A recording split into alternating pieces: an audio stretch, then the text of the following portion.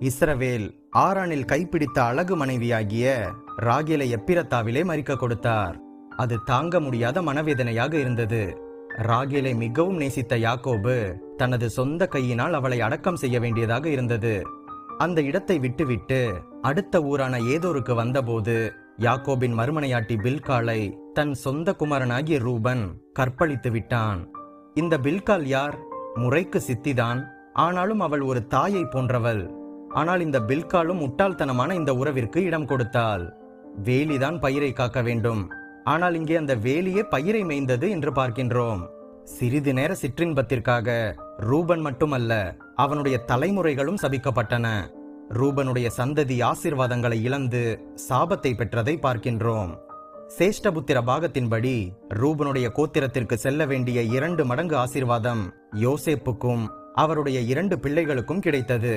ரூபனுக்கு கிடைக்க வேண்டிய ராஜ்யபாரம் யூதா கோத்திரத்திற்கு போனது. ரூபனுக்கு கிடைக்க வேண்டிய ஆசாரியத்துவம் லேவி கோத்திரத்திற்கு சென்றது. கண் போன போக்கிலே நமது கால்கள் போகலாமா? என்று உலகத்தாரே சொல்லும்போது கிறிஸ்தவர்களாகிய நாம் வேதாகம வார்த்தைகளை தினமும் படிக்கின்ற நாம் நம்மை நம்மாலேயே கட்டுப்படுத்த முடியவில்லை என்றால் எப்படி இந்த உலகத்தில் கர்த்தருக்காக அரிய பெரிய காரியங்களை சாதிக்க முடியும்? ஒரு சின்ன கதை. ஒருவன் மலைப்பாம்பை பாலூட்டி வளர்த்தானாம்.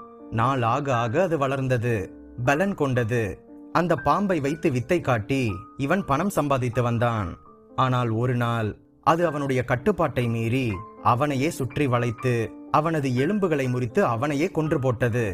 நாம் சிறிய பாவம்தானே என்று கஞ்சடையாக விட்டுவிட்டால் பாவம் அக்கிரமமாக மாறும்.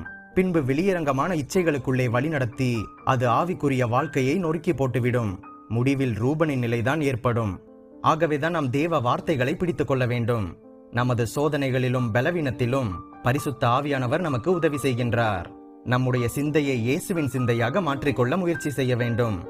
தன்னை காண்கின்ற தேவன் உண்டு என்கிற சிந்தையை யோசிப்பு கொண்டிருந்தபடியினால்தான் பாவ சோதனைகளுக்கு தப்பி அவர் ஓடினதை பார்க்கின்றோம்.